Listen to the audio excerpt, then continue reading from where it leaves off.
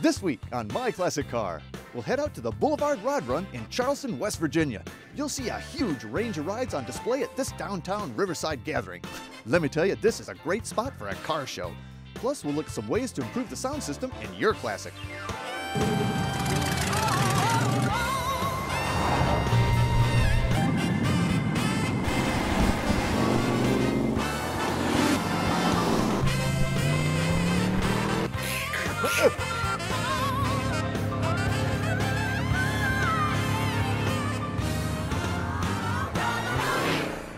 I'm Dennis Gage.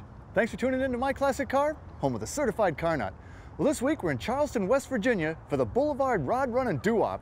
This show's only in its third year and it's already drawn some 800 cars. And why not? Charleston's a really nice town and the setting for the show right here on the banks of the Kanawha River is to die for. And did I mention there are some really cool cars here? Let's get around and check a few of them out.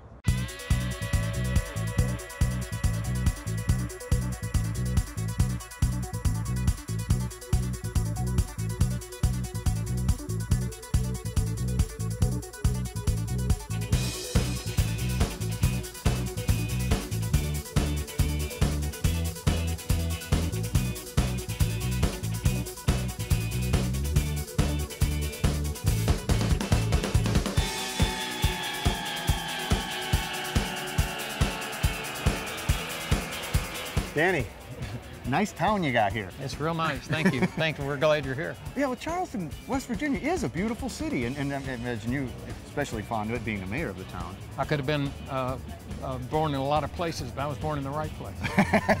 and it's the, I believe, the only place in the country where we'll shut down a four-lane highway to have a car show. you know, and I respect that. I do respect that. Yeah. And you're a car guy too. I mean, That's that's, right. kind of so. There's the show's got an inside track with the city. right. I was a hot rodder in the '60s, and uh, and I'm, I still collect antique cars. I own four of my own, and I have two of them in the car show.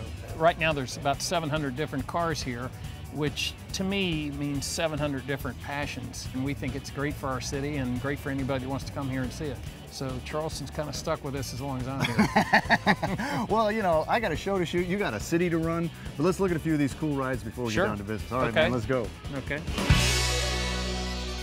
Well, Jason, this is a wild car, and you definitely don't see these. This is what a 1960 Lincoln Continental Mark V. Mark Five. Man, this is um, this was a strange era for uh, for Continental, wasn't it? Yeah, that, they were uh, going through some experimental body shapes, I believe. Yeah, yeah. But this is a this is a really interesting car though because it looks almost completely original. All except for the rubber on the on the tires is pretty much an original car. The car actually has 9,200 actual miles on it. Wow. What's amazing how good a condition it is. Like it's original paint, right? Original paint, Wow. And it's kind of a mint green. Killarney green is what they called it. And original interior, obviously. Original interior uh, has the Magic Eye headlight for the automatic dimming for the headlights. Uh, The Magic Eye, that, that did work. Sometimes it worked too well. Too actually. well, yeah. The gentleman uh, did tell me in the few times that he did drive it, even driving by uh, people's porch lights would make the, the dimmer uh, actually operate. and you have the uh, the breezeway window. Breezeway even. window, yeah, that was uh, that was a standard option in the So that I, Continentals. I'm, I'm assuming that's power. the power, the, yeah, the vehicle actually does have seven power windows in it. Really? Well, So- even the even the wing windows. Even the wing windows are power. Oh man, you gotta love that. you know, and, and I, this this rear end, this dish in, looks Yeah, so yeah, cool. Yeah, But you know, if you look at it between the window and that canted back roof, and the way and, and the taillights in particular, it's got a lot of Merc in it, doesn't yeah, it? it, it does. Uh, I think they both took uh, some styling traits from each other, definitely. Wow, what a huge car! What does this weigh? 5200 plus. uh, And what pulls this this 5,200 Uh, it has the, around? the 430 in it. Oh, let's let's go up and Take a look, look at, at it. Oh yeah, the, the reverse. It was a safety hood, Yeah, had the reverse safety hood on it. so that you know if it happened to unlatch going down the road, it wouldn't. Wouldn't fly back over the, over the Is windshield. this original too, or did the, you touch the this up? insulation? I have uh, replaced the insulation on that. But how about the paint? The, the paint's original. Like I said, just a just That's a lot of cleaning. amazing. I That did touch just- up a little bit in the engine compartment just to brighten it up, but uh, everything else is, is as it was. That is incredible. 430 too. I mean, this thing will pass anything but a gas Uh, station. yeah, it's, it's not not friendly to the gas stations. well, actually, the gas stations love it. yeah, yeah, they love it. Wow. And actually, the car, which is surprising, which has helped survive it, it, it I don't know if they did it at the factory, but the car was tremendously undercoated. I mean, Really? you, you can see the, the, the tabs in it and underneath, and, and actually in the wheel, or excuse me, in the engine compartment here. And probably which some of that helped. was for sound deadening Yeah, too. yeah. Because these were quiet but- riding. Oh yeah. Actually, the farthest this car has been is from the check-in to here. It, uh, well, I'm sure, you know, I, I just, I absolutely love this car. I'm sure glad you brought it out. Well, we're, we're glad to have it here. Like I said, that was that was our goal to to get it down and let the let the people see it and uh, let it, let it see some sunlight. Well, now even more folks are going to see it. Oh, yeah. Jason, thanks Yeah. for bringing Dennis, it out, man. Thank you. 60 Continental, you gotta love it. Welcome back to My Classic Car. Brian, here's another one you don't see anymore. This is a this is a 76 Ford LTD Brougham. Yes, yes it is. Now this is a car that doesn't get any love at all. I mean, it's it, it was a family, you know, the family ride. It just they, they people bought these, they used them, and they used them up and threw them away. I haven't seen one of these since 78 or 9 probably. No, you don't see these cars out anymore. They're they're a rarity. And this baby's all original. Yes, yes it is. How'd you find it? Uh, I located it uh, one day in Fayetteville, West Virginia. This lady had put it out in the parking lot, and it had just she had just put it out. And so I- you were like, yeah, stop. yeah, No kidding. So I mean, like you were right there, and did you basically buy it on the spot? yes, absolutely. There was like a strip mall, and the bank was on the other end. And I just went through the drive-through and came right back through. Timing is everything. Yes, isn't it is. Timing is everything. So all original. How many miles? Forty-nine thousand. You know, it actually doesn't even look like it's got 49 on it. The the, the paint is fabulous. It's in good shape. Kind of an interesting color too. Kind of a metallic gold Yeah, something. Stock. Uh, well, obviously it's the original paint, right? yeah, absolutely. It's the original paint. I love the hubcaps. Thank you. You know, pretty Yeah. trick. Stock. Stock, of course. Yeah. and the interior. I mean, this thing looks like if it was driven, it was driven by ghosts. Yeah, it's in great shape. It, um, I don't doubt if anybody's even sat in the back seat. She was uh, uh, God, a widow of a coal miner, and Oh, really? yeah, and uh, The carpets are fabulous. yeah, I found uh, those covered with old shag carpet that uh, she had cut and placed in there, and then when I pulled those off, there it was. So it, it hasn't even had feet on it prior to that. No, Man, factory eight track. yeah, Unbelievable. What condition, you know? So what powers this baby? it's got a 400 uh, big block in it. Let's look at it. Well, she looks pretty clean under here too. Did you do any work here? Uh, no, I just wiped it down, just cleaned it up a little bit, and that was it. It Man, was pretty much. Unbelievable care this thing saw. Yeah, she did a great job. Well, now have you have you been to the Charleston show before? Yes, I have, Dennis. Yes, I, I, haven't brought this car. I took this car here last so year. that's yours too? Yes, it is. Well, you got a couple nice cars here, man. Thank you.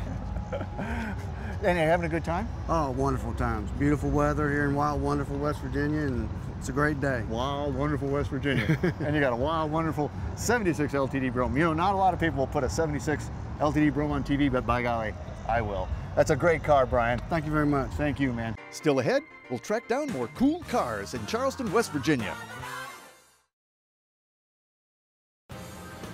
Welcome back to My Classic Car.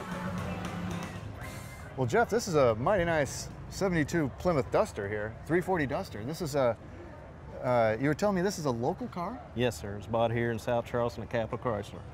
And, uh, but, but it didn't look like this when it was bought. No, it was white, 318 car. Uh-huh. Made a 340 clone out of it. Well, that's, that's really nice. Now, you were also saying this has got crazy low miles. 14,000 original miles. How does that happen? Some old lady owned it and didn't drive it much. You, you guys must have a lot of old ladies in this state. Yeah. They just glom onto these cars and then don't do anything with them. Yeah. So did you do all this transformation? yes. And you have a shop or something? No, done it in our garage at the house. Did you paint it too? Painted it in my garage. Yes. Wow. I mean, it, that's a nice paint job. Thank you. You got some talent. well, I like it. How about the interior though? You didn't touch that, right? No, I, the vinyl and everything's original inside the car. All the glass. That, that's amazing. I mean, the, the lady must not have driven this much at all. no, she didn't. And nowadays you can get all the, you know, the stripe packages and the decal and stuff all aftermarket. So Yes. it probably makes this transformation Makes pretty easy. easy. Yes, sir. Your chrome's great too. Did you have to redo that? No, that's all the original chrome on the whole car. Man, that's you know it it, uh, it came out really nice. Now under the hood, do you really have the 340? It's a 340. Well, let's have a Yes, look sir. at that. It's kind of a dressed up 342. isn't? Yeah. I suppose you uh, did all that too? yes, sir. Did all that. Hand rubbed the paint inside. Well, you're obsessive too. I mean, you actually hand rub the, uh, the Yes, engine sir. bay? Yeah. Wow. Sure looks nice. Thank you. With all this work and with such low mileage, is this is this one that you you know is this just a show show queen? no, or- sir. I drive it. No kidding. Yeah, yeah. I've put a thousand miles on it in a year So you're you are a true Mopar guy, aren't Yes, you? sir. Yeah, you're Mopar crazy. since I was young. Close her up, Jeff. all right. So lo- local car, local boy. What do you think of the local show here? Love it. It's Yeah. great. Yeah. Well, you got prime real estate too, right here beautiful, by the, beautiful by the river. Oh Yeah. man, well, this is great, man. Thanks for bringing it out. I- Hey, thank you. You do great work, buddy. Appreciate it. Nice 72 Duster. Well, Chuck, we got a uh, 49 Jeepster here, right? Yes, Willys sir. Overland Jeepster. Willys Overland Jeepster. Wow, these are these are such wild-looking vehicles. There was, there's nothing on the road that looks like this now, and actually there really wasn't anything on the At road the that time, no. looked like it back then either. No. So who who designed these cars? This is a Brooks Stevens design. Yeah, They really he, were. He was hired by Willys Overland, uh, hopefully after the war, to bring them, bring them out of their slump. You know. and So this was going to be it, right? this was going to be it. Yeah. How'd it work? How'd that work out? Well, they only made them till through 51, so. So not- yeah, not all that good. Didn't work out like they had envisioned. And then this luxurious, heavily Oh, appointed yes, interior. right. yeah, right. Three on the tree, right? Very utilitarian. Yes, three on the tree with overdrive. Top speed without overdrive is only about 45. And with overdrive is about 55. 55, right, exactly, 55. Well, she's great, and you know, I love the the spare tire back here. Oh, yeah. Willys Overland in the bumper. Oh, yeah. That's a great looking hubcap. Is that is that a, where'd you get that? Yeah, that those are new. Those are new reproductions Oh, okay, they're uh, that are available from a, uh, a Willys Jeepster supplier in New Jersey. They sure dress it up, don't they? Yeah, they sure And. I like the steps on the side to get in because that's I mean that's kind of how you got into the back seat, right? Absolutely, and with the top down, it was convenient. Kids like to Yeah. use the steps, right? Now this came with a four cylinder back in '49. Four right? cylinder in 49. Uh, Let's have a look at it. yes, sir. Oh, that's a cute little engine. Oh yeah, yes it is. Willys Overland manufacturer. Uh, same engine went all the way through World War II. And, Can, can uh, you still get parts for that? Oh, absolutely. Really? Yeah, parts are very common, very common. Several suppliers in the eastern part of the United States are, have all parts. How many horsepower? 63, Oh wow! Yeah. wide open. Yeah, it's, it's not much. well, she's a great looking car. Have you been to this show before? Uh, yes, sir. Last year. And what do you think of it? Oh, it's a wonderful show. And what a day, huh? Great show. Yeah, beautiful weather. You can't beat it. And you got the only Jeepster here, I think. Uh, only one I've seen. Chuck, thanks a lot, man. Yes, sir, Dennis. I 49 appreciate it. Willys Overland Jeepster. I love these things. Welcome back to My Classic Car. So, Chuck, I saw this this morning, and it took me all day to find you, actually. Yeah. but 37 GMC truck, what a magnificent piece this is. Well, How long you had this baby? Uh, about three or four years. Yeah. Now, you don't see many of these. Did you have to? Did you have to search I, to uh, find it? Yeah, it probably took, oh, when, once I made up my mind that I wanted one. Yeah. Um, probably about six months on the internet. Oh, well, yeah, the internet. Isn't that, isn't that the right. great, the global swap meet? Yeah. Exactly. So, what made you decide you wanted one? Um, well, I'm a um, GMC truck dealer, Oh, wow. and the company I have was started in 1937, so I had to have a 1937 You- uh, GMC. well, of course. so this is sort of the flagship or the flag truck. Exactly. Exactly. It's a classy looking truck, well, thank you. you know, but but i mean, is it a beast to drive? I mean, Oh yeah. it's yeah, a truck, right? Yeah. I mean, it drives like a truck. yeah, it's a it's like a farm tractor with a cab on it, basically. And is it a three-speed? Uh, four speed. Four-speed. so it's got that that double low. Yeah. You can yeah, climb a wall. gear. Yeah, exactly. Man, but she's in great shape because these were farm trucks, and most of them were just, you know, I mean, just beat to death. Yeah, exactly. You know, classy looking fenders and everything. I mean, this is a this was a really nice truck. Oh, it is. It's beautiful. Love the GMC back here. So this would have had some sort of flathead six or something in it, right? That's exactly what. Is that right? Let's go have a look at it. Oldsmobile 230 oh, flathead really? six. Yeah. Really? Was that what it was? Mm-hmm. So now does it's a side? Uh, go ahead and open it up. Yeah. How, do, how does it open? You still have a six volt system too. Oh yeah, yeah. It's all original. So it's a. Oh, Does it ever leave you stranded? Uh, no, it hasn't yet. Other than when we were bringing it down, we ran out of gas. So. but the gas tank's under the front seat. But and, did, uh, did these have, did these still have a crank start in them?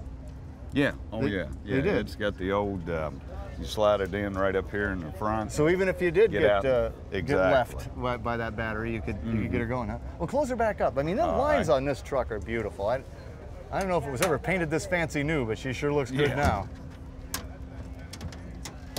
Yeah, what a what a great looking truck, man.